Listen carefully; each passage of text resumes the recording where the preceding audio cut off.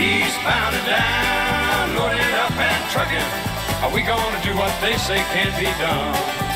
We've got a long way to go and a short time to get there. I'm eastbound just like no bandit run. Keep your foot hard on the pedal.